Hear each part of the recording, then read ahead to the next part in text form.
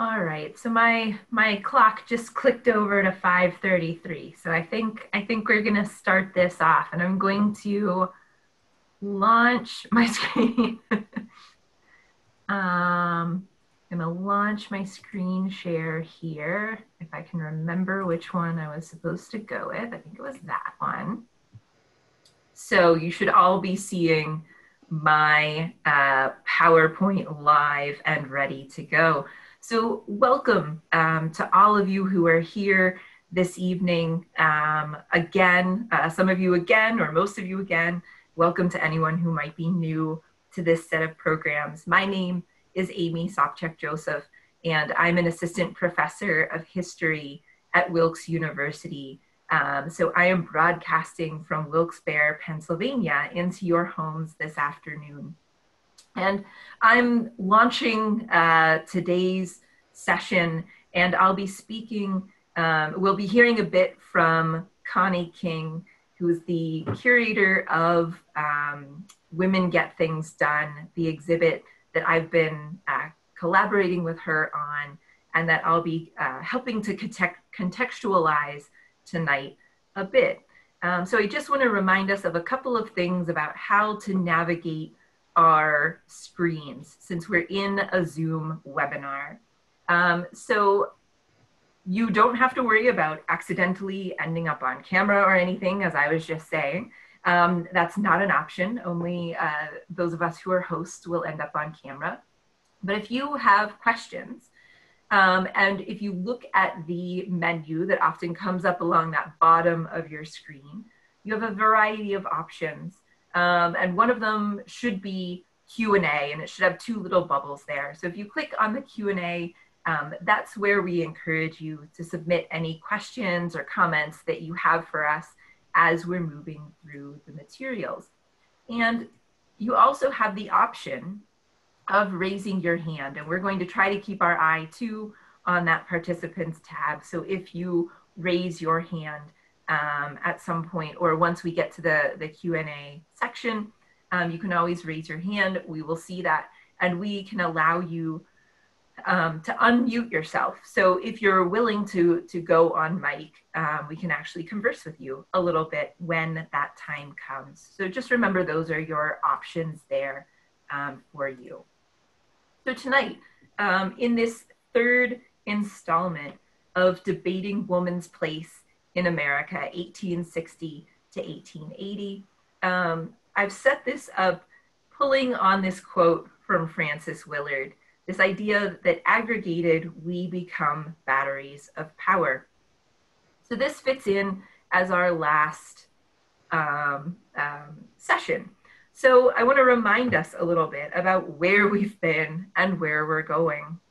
Um, almost a month ago, uh, which seems like it was much longer, but it was only about a month that we first came together on September 16th to talk about separate spheres and suffrage, and to talk a little bit about the dominant gender ideals about um, the, the women and men um, we're thinking about and trying to adhere to in the 19th century. And then two weeks ago, we talked a bit about shattering the sphere, um, women's labor, and economic power. What I want to do tonight is to try to bring us full circle, and, and what Connie is going to do with us too is bring us full circle a bit. As a child of the 1980s, I grew up absorbing the general cultural message that women can do anything. I grew up playing with dolls and toy kitchen sets, but also devouring many, many books uh, my parents actively encouraged me to be a high achieving, um, a high achiever academically so that I could get into a good college, even though neither of them had gone to college themselves. There seemed to be little question that whether I wanted to have a career or have a family or have both, that the option to operate in both the public sphere and the domestic sphere would be totally up to me as an adult. And I'm sure that I am not um, unique in having this experience. Women's ability to occupy public and private spheres and to earn wages are matters of both personal desire and socioeconomic status these days. For many working and middle class families, the economic contribution of a working wife and mother is imperative um, to achieving a middle class standing. Prior to the COVID 19 epidemic, employment outside of the home was also a key piece um, to many women's self fulfillment, um, of fostering one's individual identity and to making contributions to a wider society, while also um, contributing as raising as mothers to, to children and to sharing household duties with partners, whether those are male or female. For many other women, the ability to freely embrace the private sphere is, in its own sense, a feminist act of agency. The ability uh, to choose to focus on child rearing or, um, in these days, elder care, or perhaps both. Um, it, it's a bit different to be able to choose those actively as opposed to fulfilling those roles um, as kind of um, imposed or encouraged by society, I would argue. There's no doubt that the pandemic is shaping and will continue to shape this debate. Um, more importantly, it's shaping women's realities on a day to day basis, forcing some to put aside their desires in light of overwhelming responsibilities that are on their plates.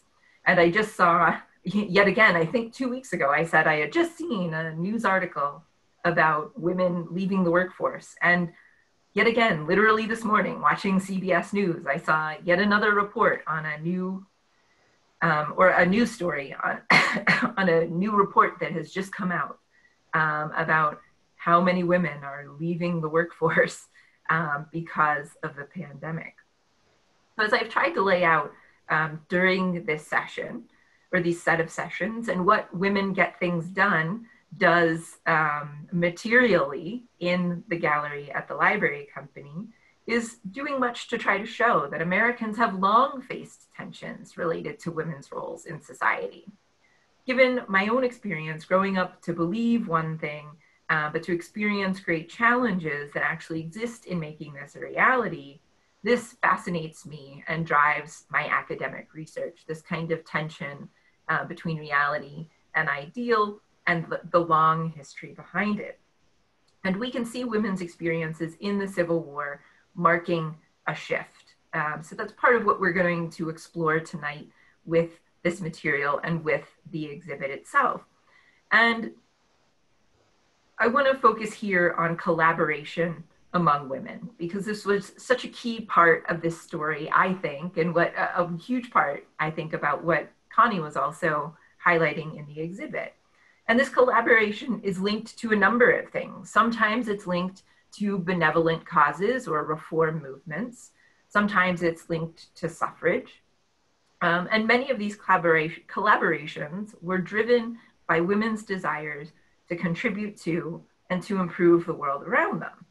But women were not united in their ideas about how to affect that change or even necessarily what quote unquote improvement um, of the world around them might mean. I want to say a little bit, excuse me, I had a cold last week, so I'm still coughing a little bit here and there. I want to um, take our discussion back to situate this 1860s and 1870s moment um, briefly, because uh, we're going to start to see some patterns emerging. And I, I want to be able to highlight a bit and have us talk a bit about what's really new and what's maybe a little old in the 1860s and 70s.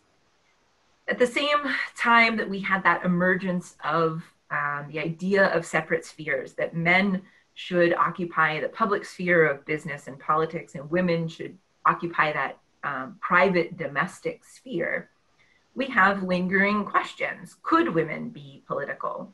And should women be political? Those are two slightly different questions, and both are being asked um, how should they um, not just act in partisan politics, but how should they wield power um, or influence um, decision making? And we could see to some extent in this kind of antebellum period a focus on women's individual influence in the private sphere. Thinking about um, separate spheres as really emphasizing, as an ideology, emphasizing that women can have influence. They can um, participate in these discussions, but those discussions should take place in that private sphere, and that influence should be on those closest around her, as opposed to occupying the public sphere and taking these decisions more broadly. But the reality um, and we've seen a little bit of this and we'll continue to see it tonight. The reality was women were not only acting in the private sphere, to, to be sure. Um, some of them were in, trying to influence um, their husbands and sons um, and perhaps their votes. But in reality, women were active in public um, as public actors and as political actors. We've heard a bit um, about their work as authors and lecturers earlier on.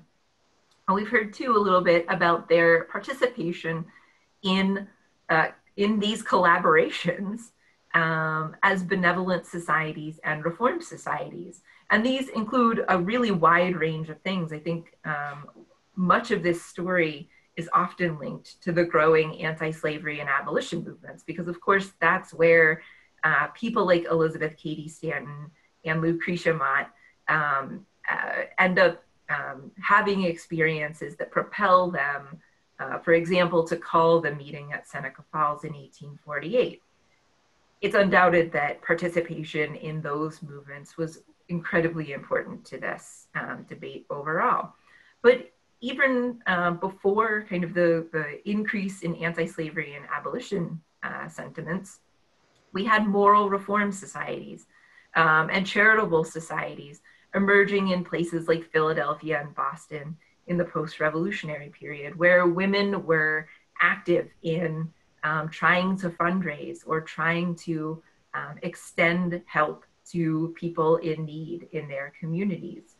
And in the antebellum period, some of these will turn into kind of reform societies linked to the temperance movement, um, a, a, movement focused on um, decreasing the use of alcohol or eliminating the use of alcohol, um, as well as moral reform movements. Um, for example, um, trying to reform women who were engaged in prostitution in urban areas and trying to find them um, uh, other types of employment and other ways to um, uh, support themselves.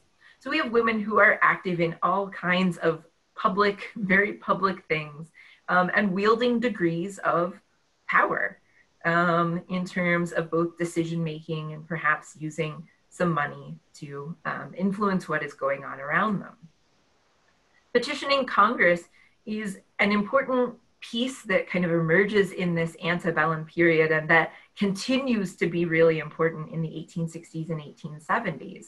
Um, this debate really emerges in the late 1820s, early 1830s around the Indian Removal Act. Um, women, some at least at least some American women, believed very strongly that they should have a say in issues like Indian removal, um, because women wield this moral influence.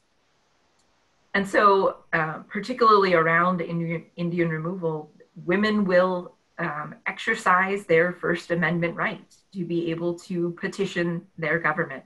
And the anti slavery movement and abolition movements will pick up on this um, in the antebellum period as well.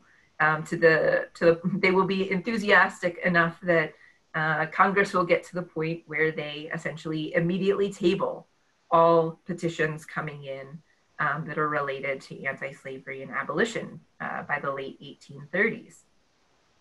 And we have these women's rights conventions. Another way, all of, all of these are really ways that women are collaborating with each other and with um, men. But these women's rights conventions um, that emerge um, before, just before, and kind of um, also extend after the Civil War are another of these key pieces of collaboration. There were 11 national women's rights conventions um, that were held um, in northern states, with the first one starting in 1848 and the last one being held in 1869. Um, and they take a break during the Civil War. There are none held actually during the war. These are also growing out this uh, sense of collaboration um, and the usefulness of working together. um, emerges out of women's experiences with female anti slavery societies. And these conventions actually um, encourage and, and spur additional interest or wider interest in women's rights uh, because they're, they extend beyond the kind of temperance movement or the moral reform movements, which are uh, often religiously uh, affiliated. Uh, women's rights kind of moves beyond um, the, the religious affiliation to really bring more people into the fold. But all of these, or at least these uh, women's rights conventions, are going to avoid entering into partisan political discussions. Uh, and this, uh, I think, we'll start to examine as we're looking at um, the, the actual collections materials. We're going to see a number of shifting perspectives in the 1860s and 1870s. Um, and one of the key things is a kind of shifting sense um, or a, potentially a, a, kind of rolling back of some of the criticism that women endured in the antebellum period. Um, as women are, are striking out as authors or as lecturers in front of large audiences of men and women, as women are beco- becoming more and more involved in reform societies, attending meetings, um, participating in, in fundraising efforts, as they're petitioning Congress and attending these women's rights conventions prior to the Civil War, they're also doing this in the face of a lot of criticism. Um, only a minority of people were um, widely supporting some of these um, activities. And with the 1860s and 1870s, particularly thinking of the Civil War as a kind of hinge between the, the kind of um, pre war sense of um, uh, separate spheres and what I kind of think of as a post war sense of, of separate spheres. It's not that separate spheres aren't, uh, that those ideas aren't still circulating and that they don't hold weight. Um, but they're they're functioning a little differently um, after women's participation in the war. And we talked a little bit last week about how women participated in that war in numerous ways, um, uh, both economically, um, in terms and uh, kind of materially providing uh, materials, helping to sew uniforms and put together materials like that. They're also, we talked a bit about nursing as one of these kind of key pieces um, that comes out of the war. But another collaboration that's going to come out of the war um, was among kind of our two um, key people in the women's rights movement, Elizabeth Cady Stanton and Susan B. Anthony, um, who created the Women's Loyal League during the war. And I, I mentioned this just briefly because Connie is going to show us a piece about this um, in just a moment. And the Women's National Loyal League uh, sought to address politics more directly um, than mobilizing for war in terms of providing material support um, or participating as a nurse, um, etc. The Loyal League walked right into partisan politics and launched a huge petition campaign. And Massachusetts Senator Charles Sumner brought their petitions to Congress um, multiple times as they um, collected signatures. So the Loyal League is going to approach this um, in some similar ways as we're seeing uh, from before the war, but also is going to start functioning in a kind of different environment than women had been functioning before.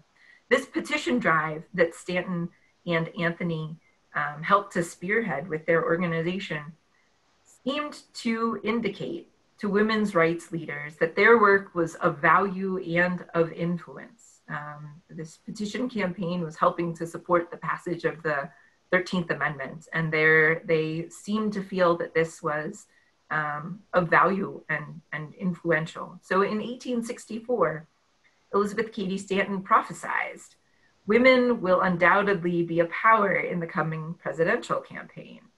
Women were already speaking on all phases of the question, and hence uh, the importance that we know where we speak. And yet, um, it is going to be another few decades um, before women get direct influence on those presidential campaigns um, in order uh, to express their, their views at the ballot box. So we still have this functioning as a, a huge debate um, and with women trying to position themselves. And so it's at this point, thinking about where these old strategies and um, new um, the, the new historical context come together, that I want to hand it over briefly to um, Connie, or not so briefly really, to Connie to talk a bit about um, another portion of the exhibit. So she um, talked to you about parts of the exhibit last week, and we saved a portion for this week. So I'm going to stop sharing my material for just a second so that I can hand it over to Connie. Thank you, Amy.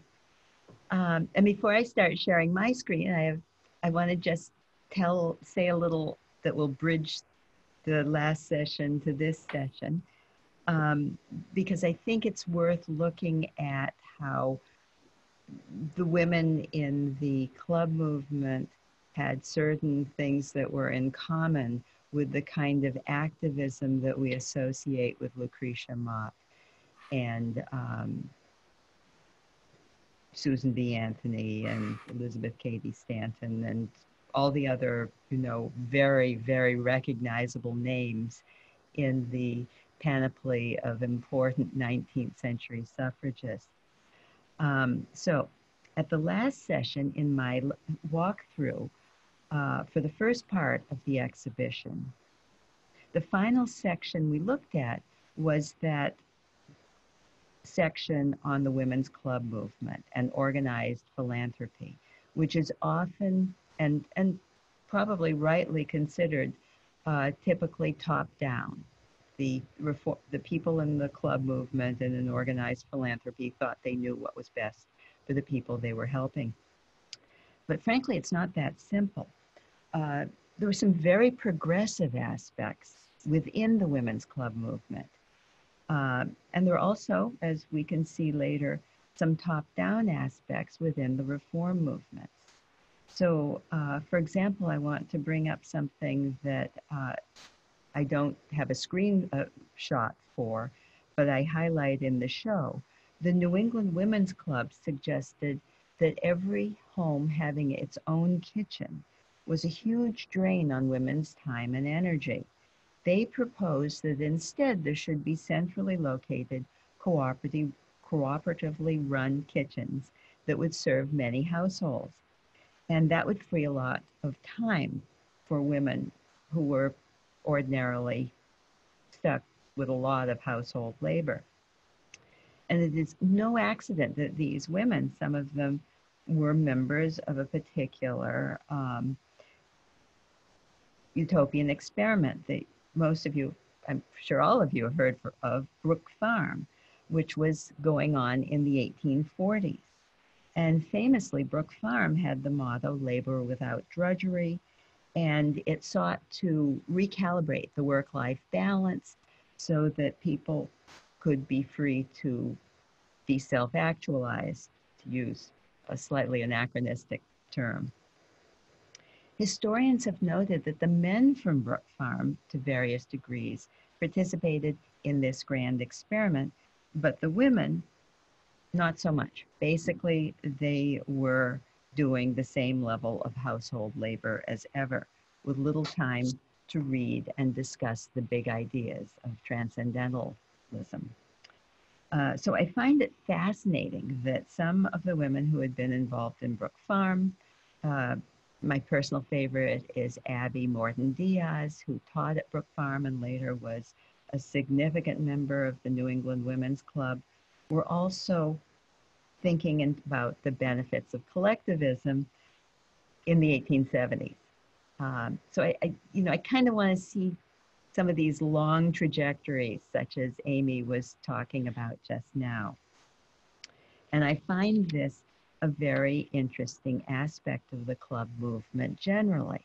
So tonight I want to do a very quick walkthrough of the final section of the exhibition. And let me see if I have the skill set here.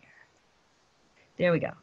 So last time we were talking about Sorosis, which was uh, not the Boston one, but the New York City Women's Club uh, that had been founded by Jane Croly.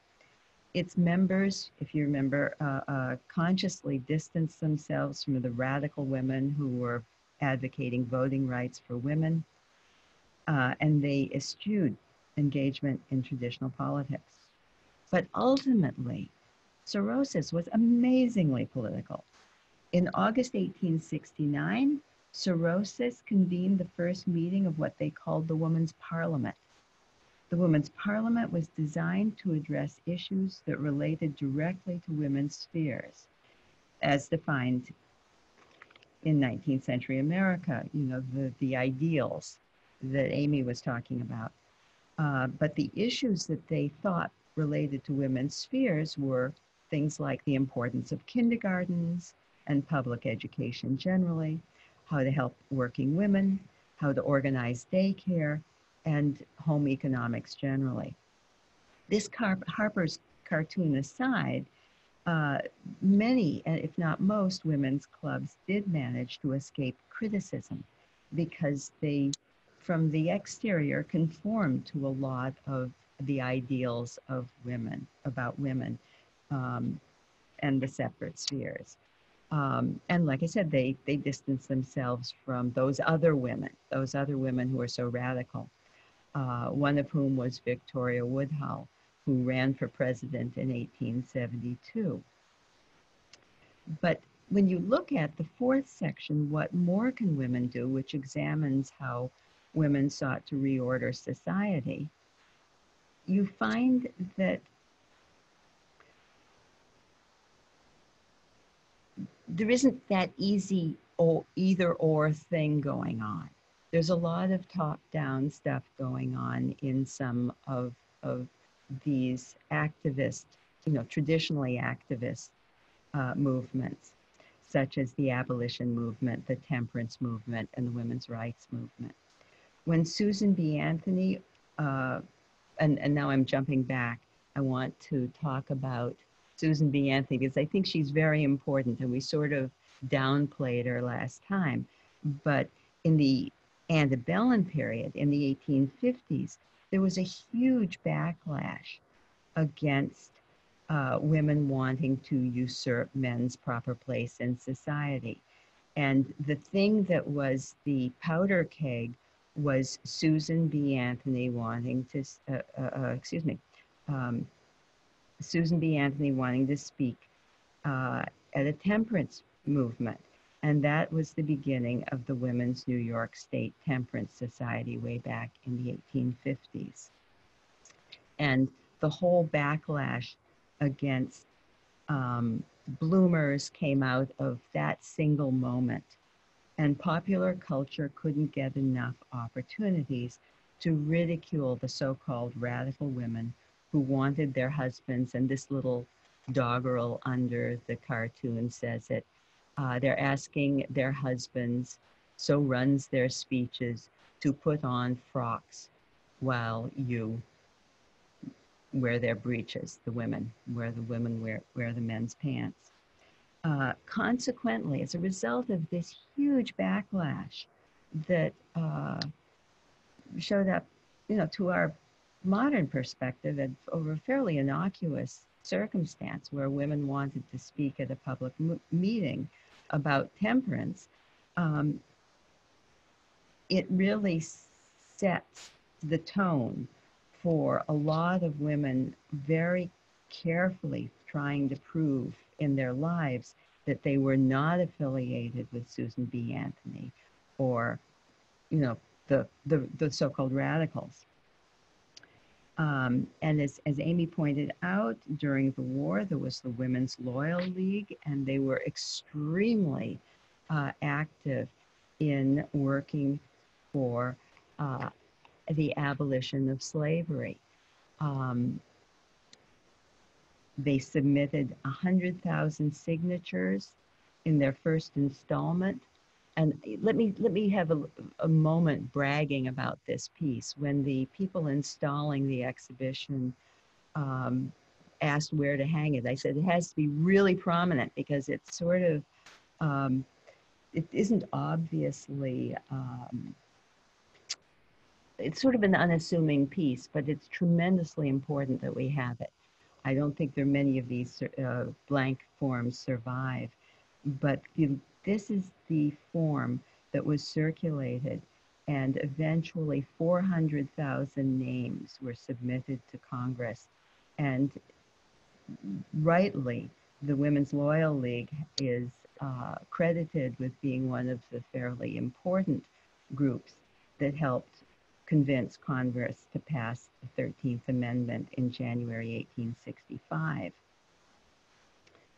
And after the war in 1866, the American Equal Rights Association, another group, brought activist men and women together for the next big project, universal suffrage, to end the disenfranchisement of black men and also women, both black and white. And some of the most prominent members of the abolitionist and the women's rights movements were among its members. But the problem was there was a lot of infighting. The unity of purpose didn't last. In 1869, the women's rights movement split into two factions. One faction argued that suffrage for black men was too important to risk a delay over the issue of women's suffrage which was a very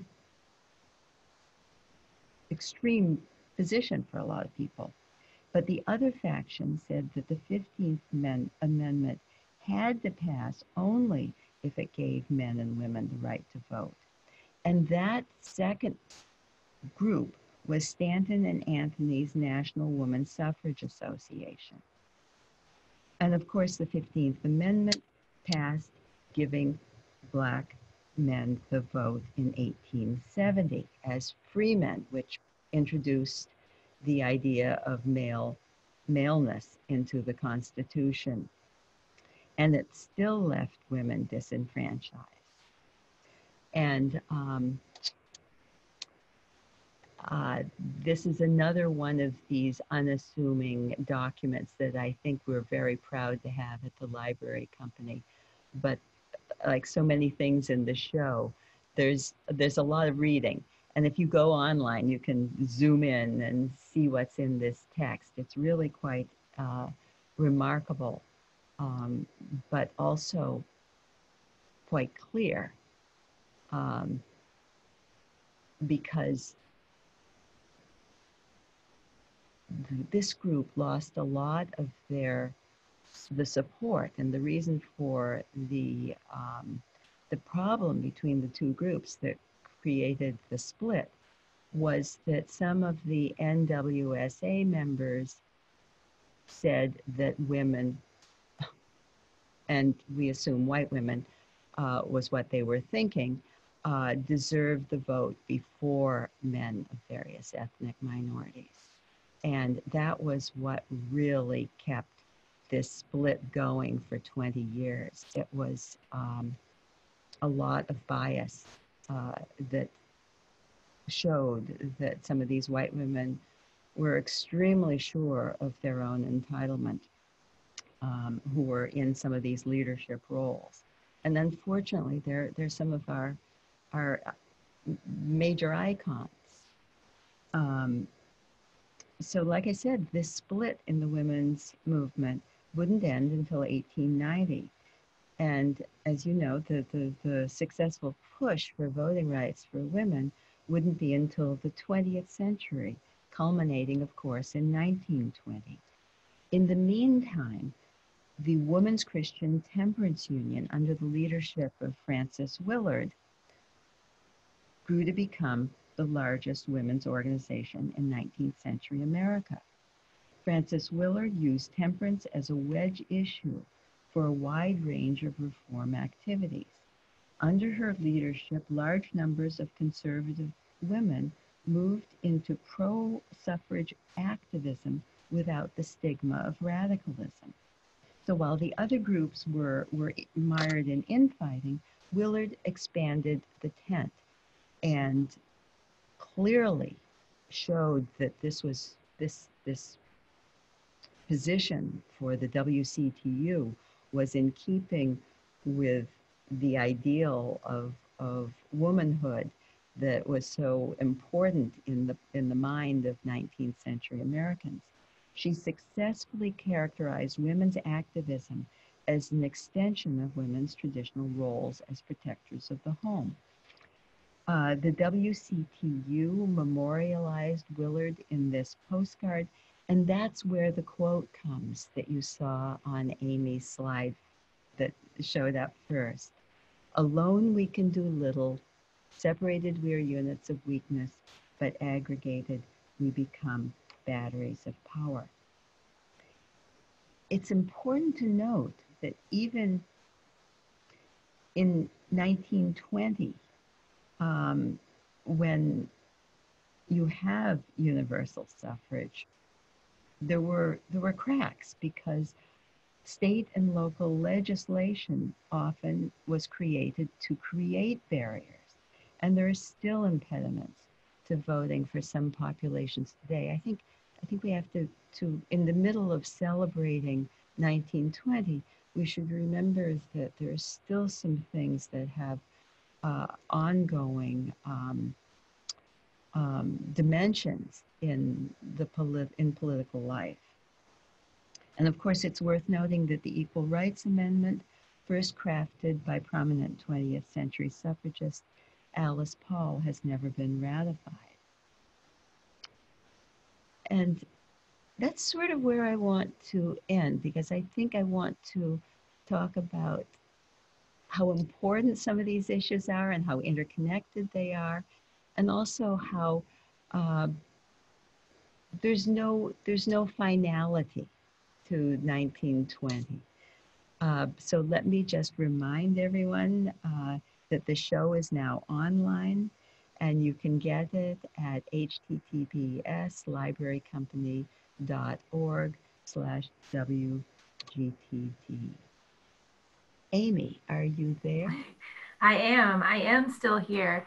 Um, and what I think is so interesting about this period that we're actually living through is that now there's so many options to access materials or their organizations are thinking um, creatively and strategically about making resources available. And i think it's so interesting and you know it gives people a kind of different experience that it would be great if we could go in to the gallery and be able to see these things and see them laid out but as connie said um, this also gives us an opportunity actually to move in and look at things um, closely or in a different way um, than one might necessarily do um, if you were there, you know, for half an hour or 20 minutes kind of scanning through. Now you can look at that petition uh, page and read through it or, or look at um, some of these, as Connie called them, unassuming documents,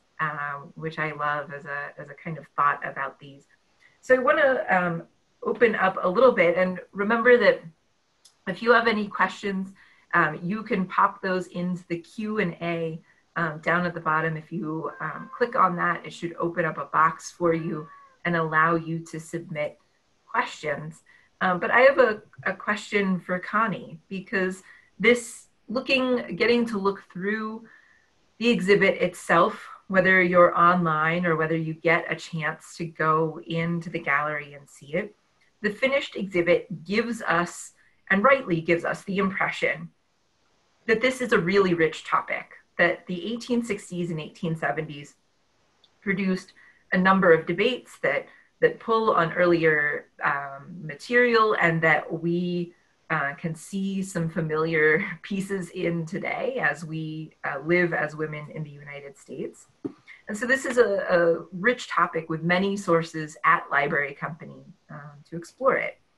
Were, were there challenges that you experienced as you um, sought to craft this story to to tell people um, was this i think the finished product gives us the sense that this is you know it comes together we have a story to tell.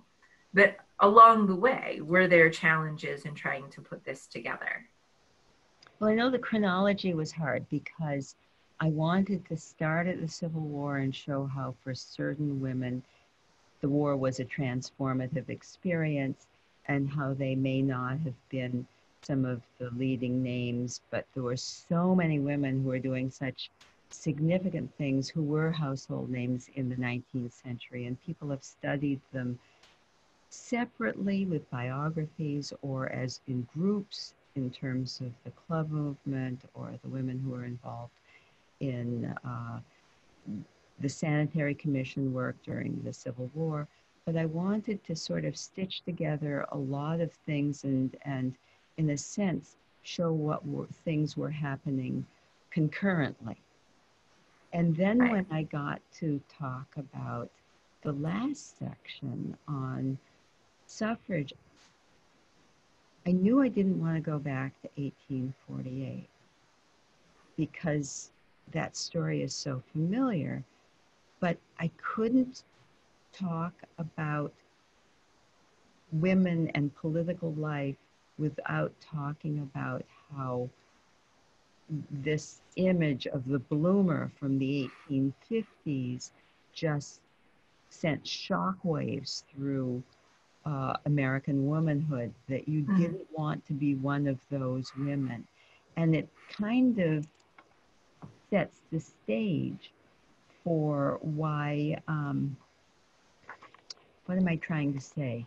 Why Frances Willard and the WCTU, whose movement is often associated with failure because of how the Prohibition Amendment was such a dismal uh, outcome for a lot of her big plans for what right. difference would do to solve every possible social problem.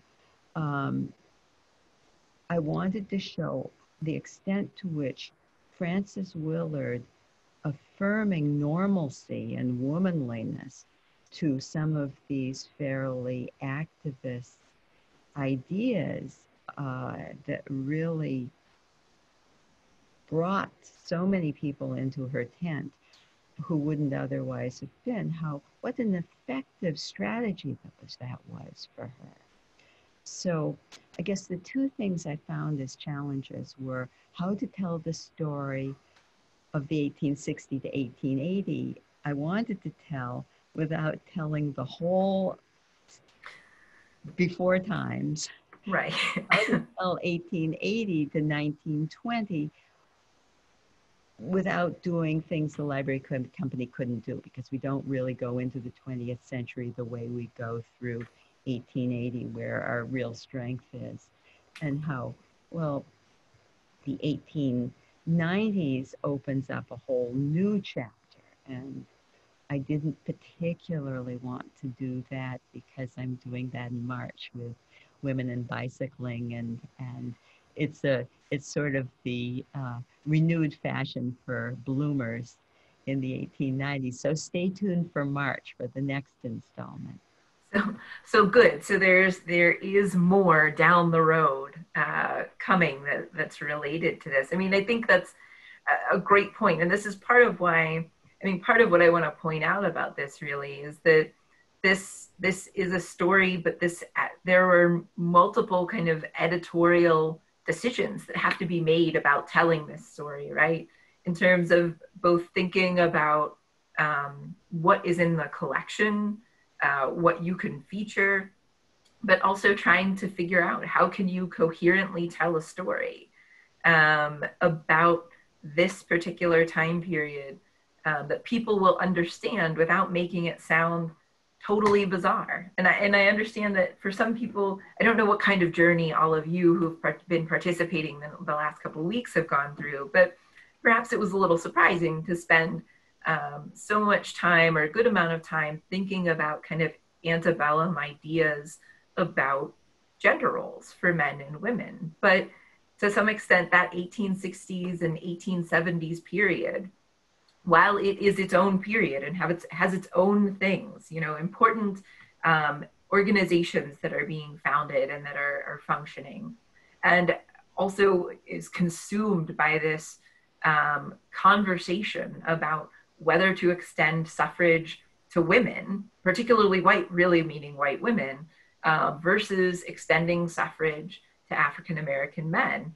A huge uh, political debate but also can't really completely understand why that debate is going on without that earlier piece, or can't understand some of those cartoons, political cartoons, if you don't understand um, what a sensation bloomers and what kind of criticism bloomers um, uh, experienced earlier on. So to some extent, I mean, I think that it's it's difficult to tell this story without kind of seeing that earlier part because there's so much about it that is so specific.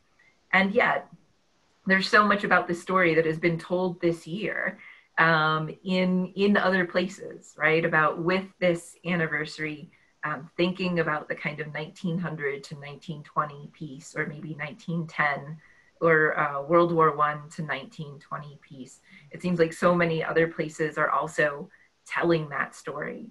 Um, so I think it's it's been really um, great and interesting to get to see here a time period that we're not really seeing um, discussed or seeing discussed differently um, as a kind of precursor to, to suffrage when really it's uh, they don't know suffrage is going to come down the road.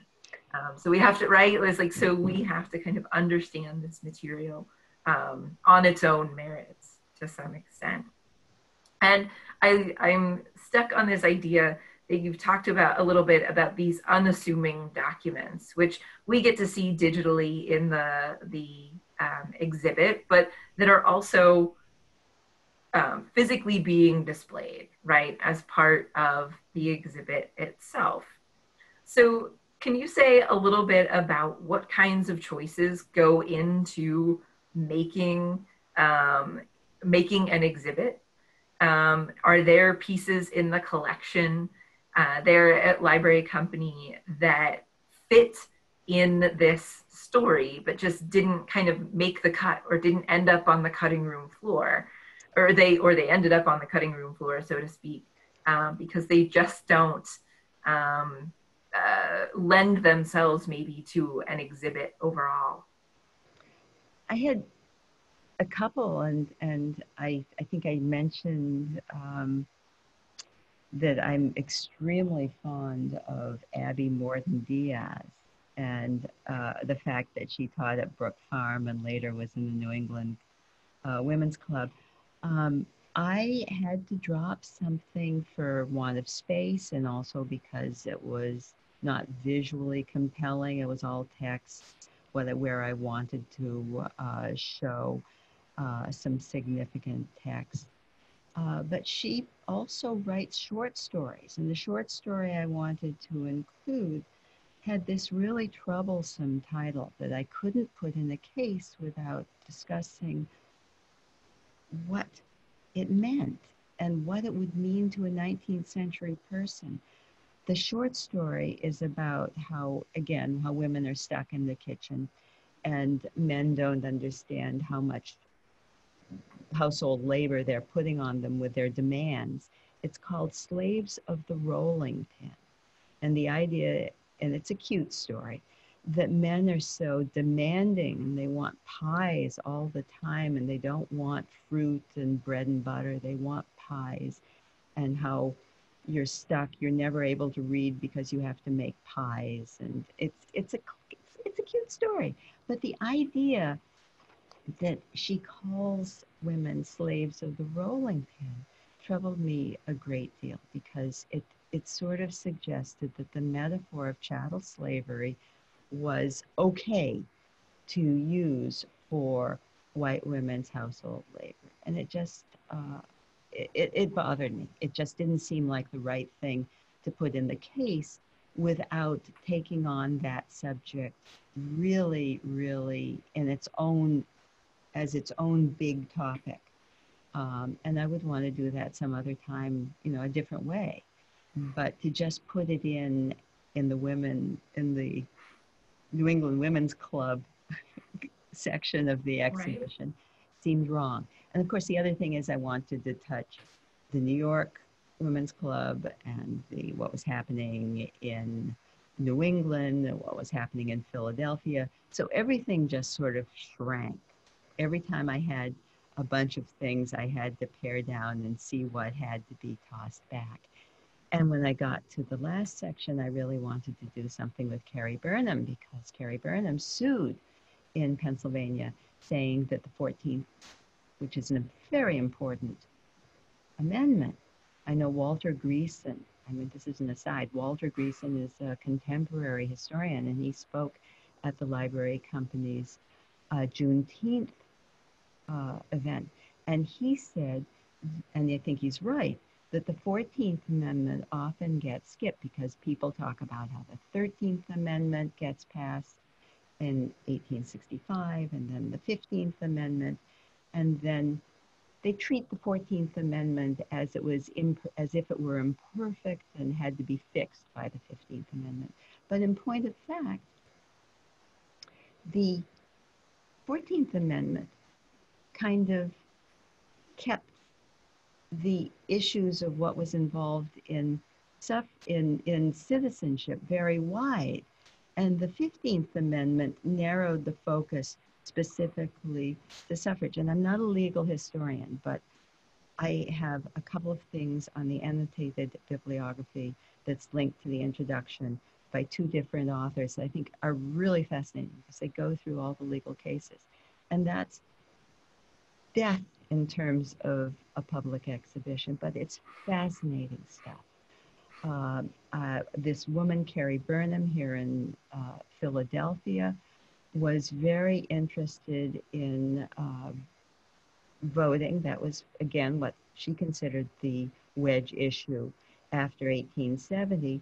And she made, filed a case that she should be able to vote because the 14th and 15th Amendment provided enough uh, uh, basis for her being eligible to vote. And it went all the way to the Pennsylvania Supreme Court. And she lost at that mm-hmm. stage. She lost because, and the judge, Judge Sharswood specifically said, because she was not a free man. Because he looked very specifically at the wording of the amendment and uh, basically tossed it out. And she went on and she became the first uh, female graduate of Penn's Law School in the 1880s. Um, so I'm a huge fan of Carrie Burnham, but the type that her speeches were printed in is incredibly small. And frankly, the University of Pennsylvania has good material, and it's not at the library company, including a mm-hmm. lovely photo of her. Um, because she's one of, you know, the people they're very proud of. you know? Right. But there are bunches of people. We know Susan B. Anthony was arrested in Rochester in 1872 when she tried to vote in the presidential election. Yep. Um, presumably, she had a choice between Grant and Woodhull. Grant, by the way, had seemed to back suffrage for women and then did an about face after he was elected. Um, but Susan B. Anthony was arrested and fined. Yes. Uh, but a lot of women didn't go and get arrested. They filed cases. There was Virginia Minor. Oh gosh, where was she? I always forget where which state Virginia Minor was. But go to the annotated bibliography link to the introduction if you're interested in some of these court cases that again get into the weeds, but really interesting weeds, but weeds that you can't show in a public gallery where you really have like a few seconds to get people's attention and draw them in and solid text just is a hard sell. Right right. Well and i remember going back and forth a bit too even about descriptions um, beside these items you know how much time uh, can you occupy someone um, in in a gallery? I think it's a little different. I think most of the text that's up on the website right is the the same material that would be up next to it if you're standing in the gallery in and of itself. Um, but there's lots of decisions that that have to be made about kind of what story is being told how much detail is there and how to maintain someone's um, attention as you're you're kind of moving through this material. Um, which i just think i as someone who constantly has to make decisions too in writing um, and doing research i think these are interesting um, uh, pieces to kind of peel back um, the cover a little bit to be able to see what was going on uh, behind putting this together. So I think that this has brought together, I mean, a number of, of themes that we're still seeing um, important as important pieces of debates today, and that that the pandemic, I think, is is only making actually more stark and more important. Um, you're talking about uh, Connie talked a bit about this kind of lack of a unity of purpose um, among women during this time, and I think we can see this as a, a kind of long-standing theme across uh, from the kind of antebellum period um, talking about both that development of, of different gender ideals and yet their uh, the unequal ability of women to be able to achieve some of those kinds of things um, coalescing in some of these movements um, that are as i alluded to kind of at the beginning women wanting to be able to improve the world around them improve their lives improve the lives of other women and other men and yet not being able to agree on how exactly to get there. And I think that's a, a, a big part of this story. Did when you, as you were putting this together, um, did you foresee that that would be so much a part of the story of women getting things done? Do you think? Well, I think it's. I mean, I don't know if this is the right answer, but when I oh. look at philanthropy, you know, all the whole picture of philanthropy, I see a lot of people, and I alluded to this in the beginning, telling other people what they should do. You know, how they can fix their lives. So it's help, but it's hmm. help that has a lot of um, assumptions that the the the people who have privilege can say what people who have less privilege and significantly less privilege should do and what will serve them. And you don't have a lot of self determination being encouraged. You don't have a lot, you have a lot of people doing good, but you don't necessarily have a lot of people saying, well, I should give up some of my privilege so that others can have equality. You know, it's mm. it's the, it's the uh, Achilles heel of activism sometimes, I think, that people are blind to their own privilege status. Um, I'm not sure that's where I should have gone. it's a little too soapboxy, perhaps, but I think it, it's the kind of thing that I really think women's history has to grapple with over mm. and over again in collections like ours, which is print based, which automatically factors out people who aren't literate and automatically factors out people who can't afford certain privileges like um, right. own, book ownership or library membership or the privilege of having the time to go to the library if money isn't involved.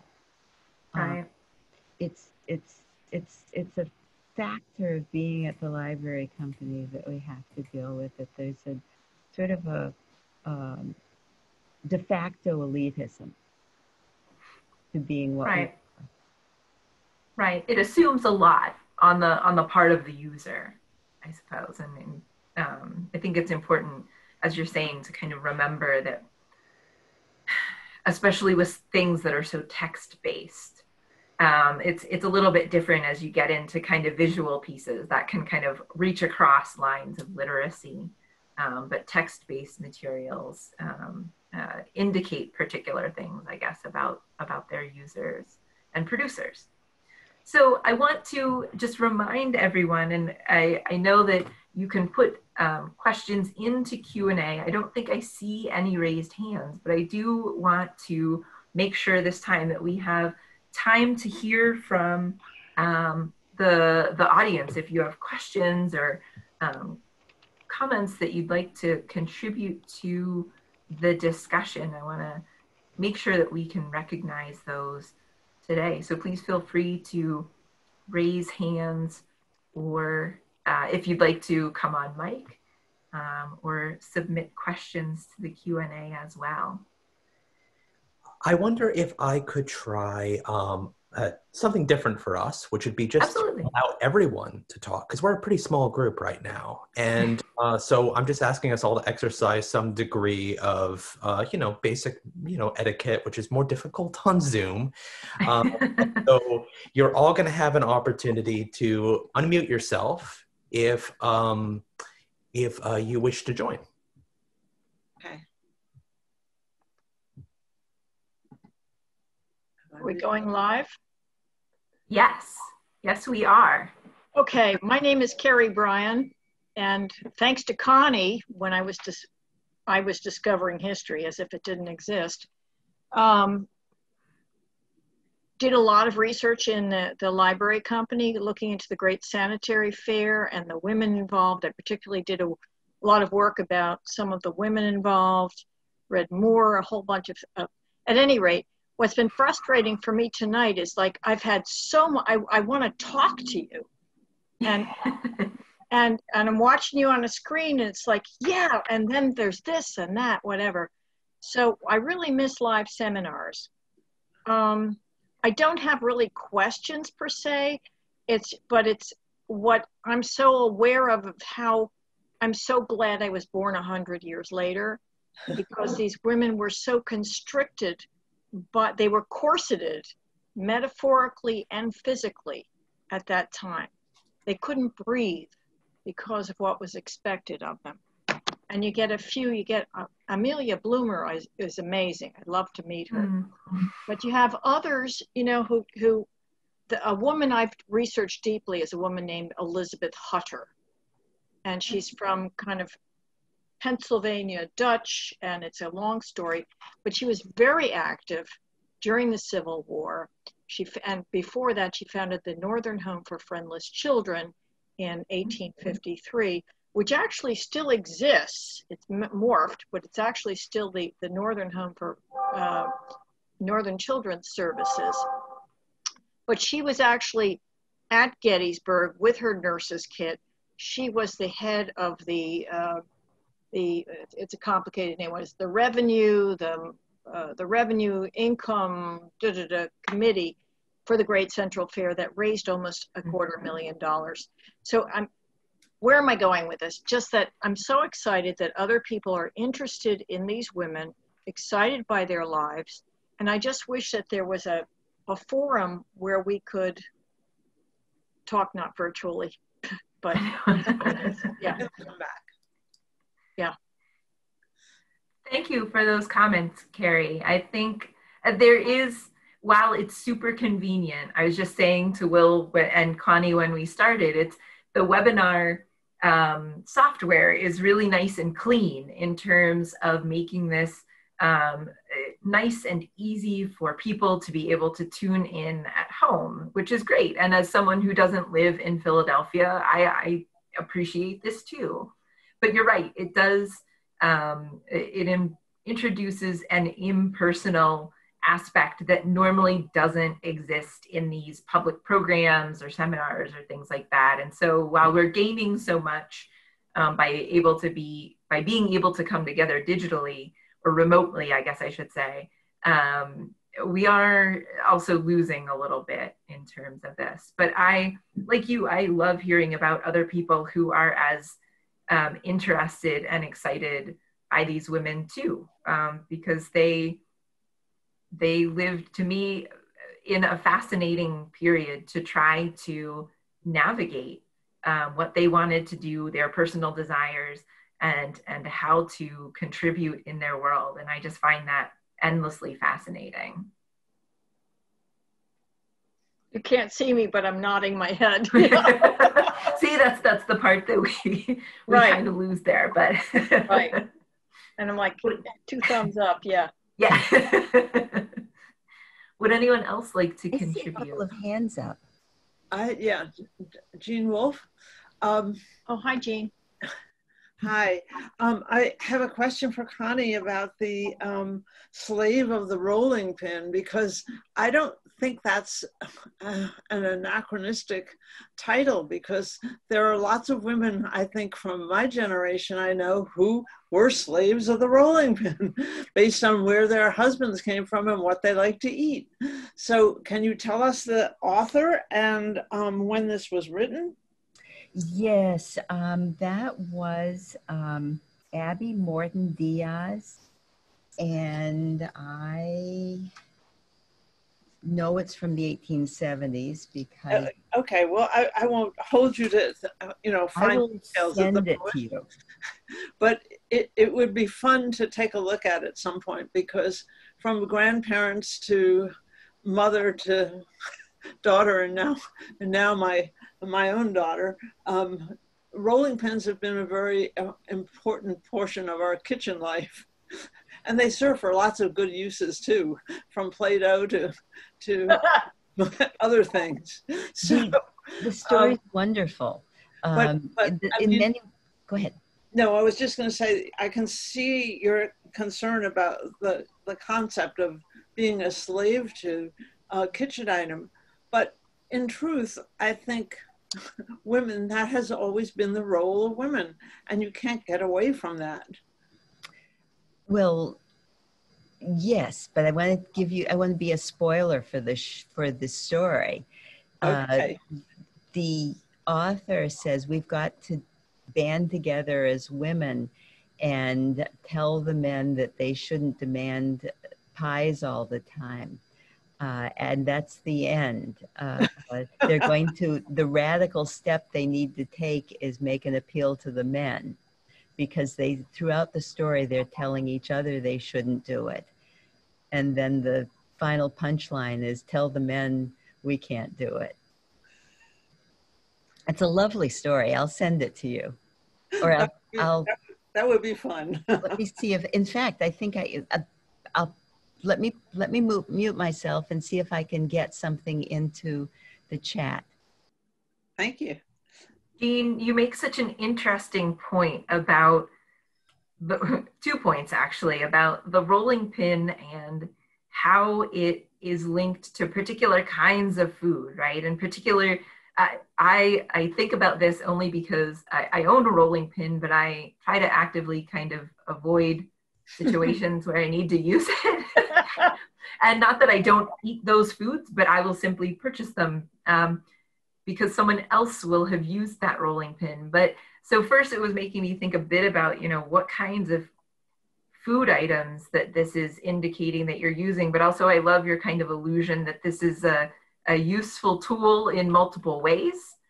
Um, and so it makes me want to, I, I, don't think I'm in the position to write this, but it makes me want to read a, a longer history, not just of kitchen utensils, but of something like that, that is so um, uh, specifically kind of gendered and connected to particular kinds of cuisine, particular kinds of food uh, that people would be be interested in. So thank you for that. I was writing down a couple of little notes just thinking about that too. Okay.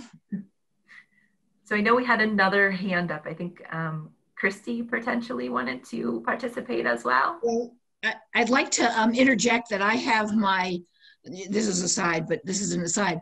Um, I have my grandmother's wedding present, which is a hand blown glass rolling pin in my kitchen.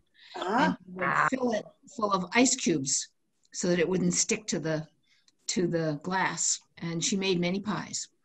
Um, and so have I, but not with that rolling pin. Um, but I, um, I'm, uh, um, just want to say that I'm a member of the Women's Club of Concord, New Hampshire. Um, we started in 1893, so it's a little bit later than um, the uh, era that that the seminars have been uh, covering. Um, however, our mission was really similar, and I suspect that the early history um, has to have been similar to what you were saying. Um, I wish I had been more aware of women's clubs when my late mother-in-law was alive because she was a more than 50 year member and the kinds of contributions that they made to the Concord uh, community are just amazing. We have scrapbooks that go back, you know, decades and decades, um, and the kinds of things that were uh, cut out of the newspapers and put in these scrapbooks and then given to the president um, of the uh, um, accomplishments that they had during their tenure. Uh, it, it really is fun to read them. And I really, um, I, I, have enjoyed this series so much.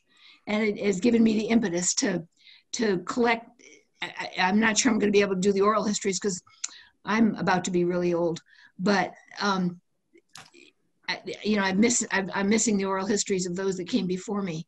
But mm-hmm. at least getting us to write things down and not have everything digital, because who knows what the uh, media will be 100 years from now.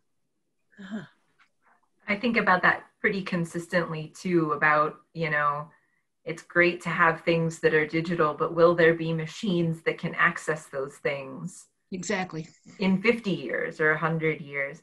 Um, as someone who spent 15 years living in New England as well, I uh, am a former member of the Hebron, Connecticut Women's Club.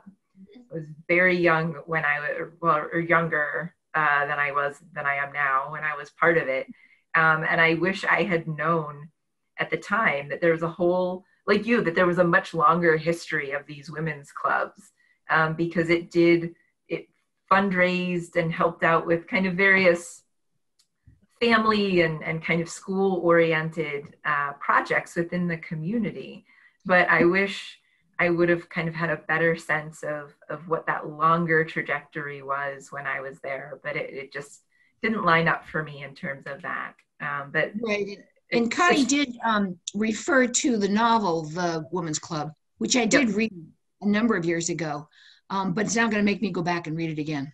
but I think what you're saying about you know preserving the, those materials um, especially as mm. as potentially these younger younger generations either um, adopt this kind of later maybe i don't know i don't know where women's clubs will end up going how popular they'll continue and end, to end up being but if they have all of this material um, documenting their experiences that's such a it's a dissertation in the making down the road, I think, for someone. So.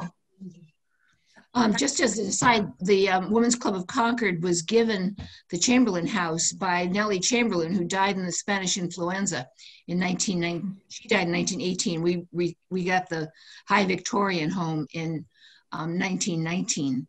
Um, Excellent. And so it's a, it's a, a real gem and beloved house for us. Oh, absolutely.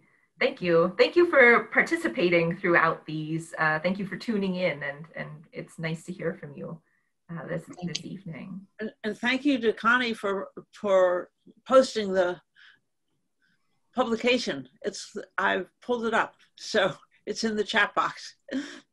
Everybody can find it. Yes, please. Uh, it's it is a treat to read. Um, so please do uh, go to the link so that you can keep that um, and extend extend your learning, I guess, from this right. um, conversation too. Other other comments, other uh, contributions anyone would like to make? It's Carrie Bryan again. Just to say that uh, I did a course at Penn a couple of years ago about food and culture, and I delved deeply into Philadelphia cookbooks, women's cookbooks, particular women's cookbooks of the 19th century. And that is a, a, a time when women did not have other ways to express themselves. It is, it is a glorious way to understand how those women were living. You get down to the nitty gritty of what they used, the material culture, and how they saw their roles. It's just fast. It was a fascinating mm-hmm. project. So just there's there's there's world there's so many worlds of to discover and study out there just saying oh absolutely and i think that's something actually connie and i had talked a bit about in terms of kind of opportunities and um, uh, openings that still exist um, in this um, subject i mean i i hope we're not i don't think we're giving you the the impression that this is everything has been done, everything has ex- been explored and written about.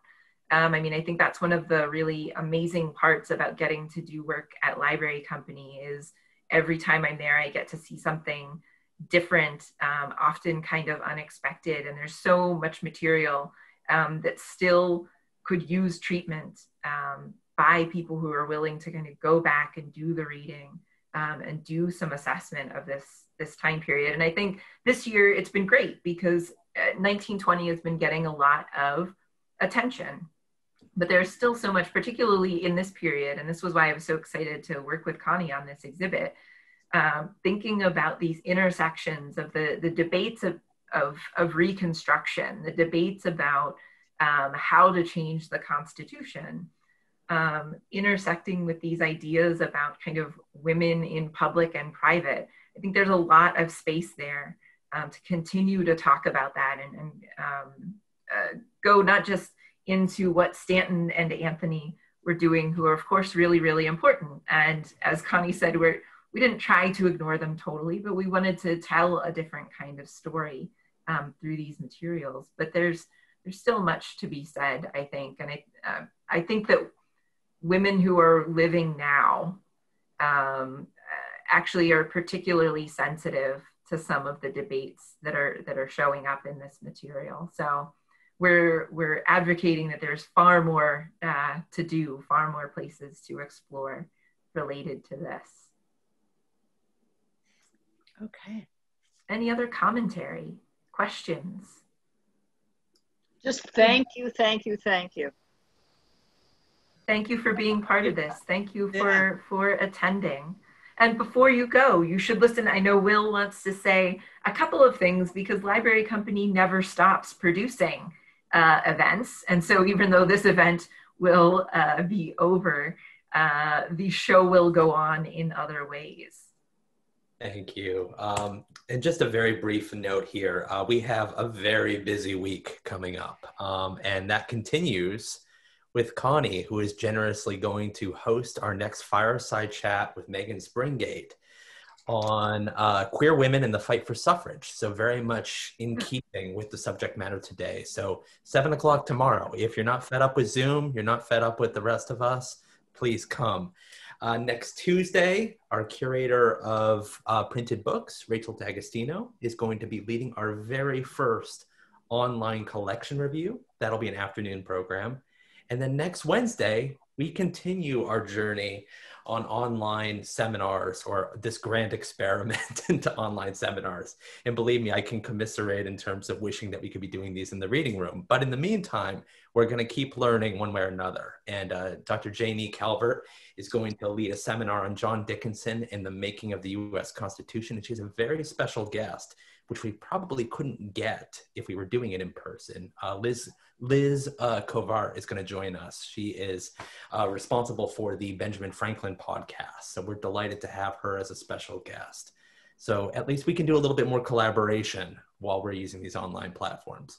But um, before we go, I'd like to invite all of you to unmute yourselves and to join me in thanking Amy Sopcak Joseph and Connie King for being stupendous seminar leaders. Let's give them a round of applause. Bravo. You know, applaud for Connie. On to all, and to Will, and to Will, and and to Will, who's who has stuck through all of these as well. This so is, thank, thanks this, so much. Yeah. So um, I'll be following up with a recording of this and a survey. I encourage all of you to take an, uh, you know, it'll take you one minute to respond to the survey. And then in the meantime, look ahead to all the events we have coming up. I really do hope you can continue to participate with us. Thank you. Thank you. Thank you. Thanks. Have a good night, everyone. Good night. Good night. Good night. night.